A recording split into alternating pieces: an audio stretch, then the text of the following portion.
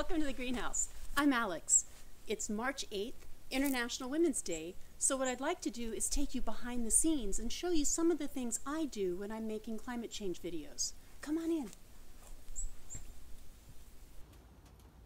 Okay, so when we make videos about climate change, there are a number of different things that I think are really important that everybody needs to understand about climate change. And the challenge is to present those in a way that people can figure stuff out for themselves. And that's what this series of videos that I work on is all about.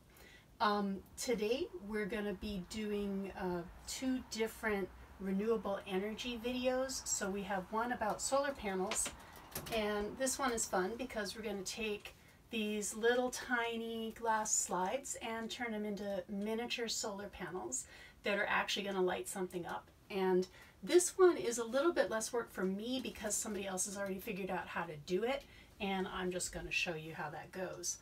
Um, the other one is about uh, wind power.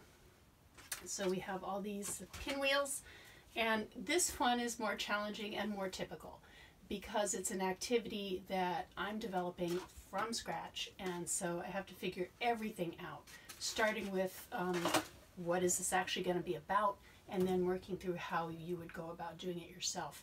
It's interesting because um, I was reading an article in the newspaper about offshore wind turbines and how the bigger the wind turbine is, the more power it generates. And of course, this is something I already knew, but it wasn't until I read it in the newspaper that the little light bulb went off and I said, oh, I can take my colleague Ingrid's activity that she developed for very young learners where she takes a paper pinwheel and uh, connects it to a little paper cup. And if you blow on the pinwheel, you spin it and it actually lifts the paper cup up. So we're showing how this pinwheel can do work.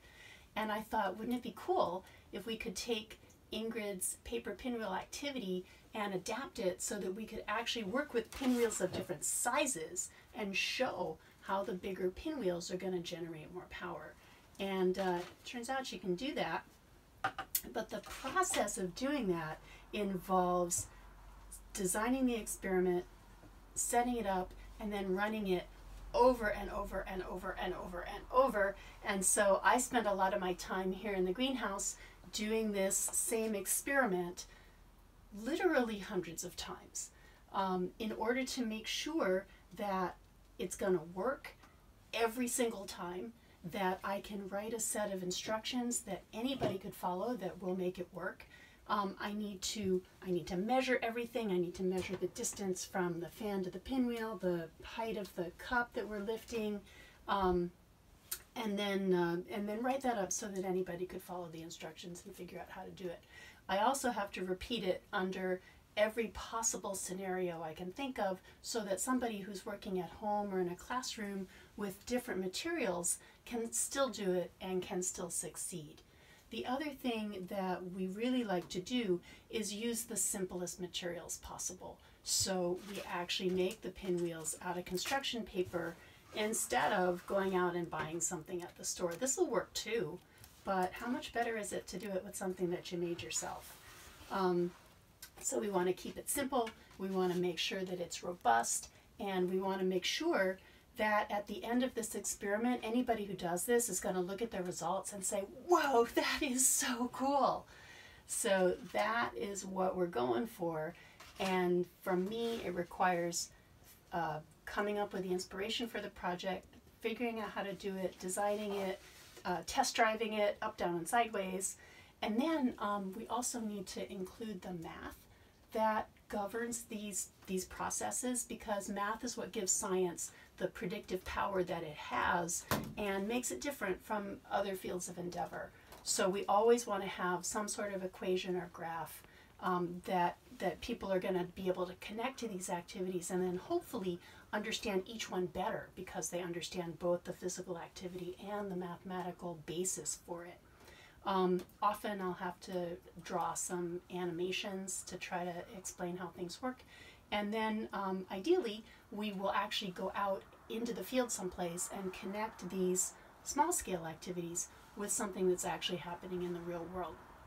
Um, to do that, we uh, will film different things. Um, sometimes we might use some different tools. Uh, in a little bit this afternoon, we're going to take this out. This is a drone, um, and it's going to allow us to film uh, solar panels from a from a different vantage point, which is really pretty fun. So um, let's go take some drone footage. So one of the things that's important to do once we develop our small scale experiments in the greenhouse, we need to compare those to the real world and to larger projects. So today we're standing in front of a solar farm that's operated by Cornell University and we're going to take a drone and we're going to fly some video over the solar panels so that we can include it in a later educational film. So let's put the drone together. Here we go. Let me get the little arms out battery in, get our propellers on. Okay, so good. And we've got a camera mounted on a nice gimbal. And then we operate the drone with a remote control, and that's got my cell phone attached to it because the cell phone app is going to let me see what the drone is seeing while we're flying it, and it gives me some other controls. So, let's launch.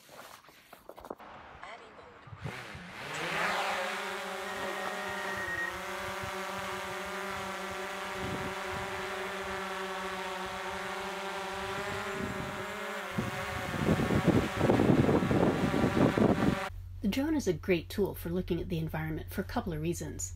Obviously, it can go places I can't, and it gives us a perspective that we'd never get if we were stuck standing on the ground. Here we're cruising at an altitude of 100 meters, we're flying over one of three groups of solar panels that together produce 18 megawatts of electricity. I don't know how many panels we're looking at here, but notice that although they were covered with snow during a recent storm, the snow melts off once the sun comes out, and that's what you need for maximum energy output. Upstate New York isn't known for its abundant sunshine, but you don't need to be in a desert for solar panels to work. If it's less sunny, you just need more panels, so it's really an economic issue, it's not one of insufficient sun. For me, being outside is the part of my job I love the most. Once I finish filming, I'll have to sit in front of my computer and the video editor for a while. But the trade off is I get to fly the drone. Okay, we've got some good footage, so let's come on in for a landing.